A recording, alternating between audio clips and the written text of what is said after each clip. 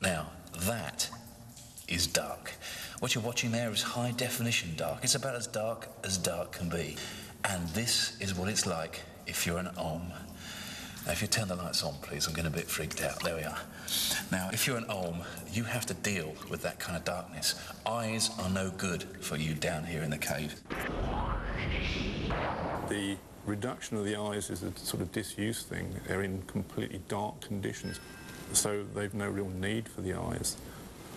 The olm's got a very broad head, which gives a larger surface area for the sense organs, so when it moves through its environment, it's faced with all the sensory clues in its environment.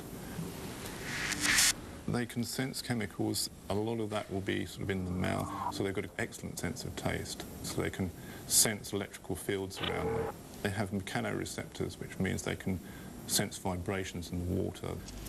They can hear as well, which is quite remarkable because they don't seem to have any external ear openings. Salamanders don't. They're brilliantly adapted to their environment. It really is a phenomenal little creature, and it has to be to survive in this phenomenally inhospitable environment.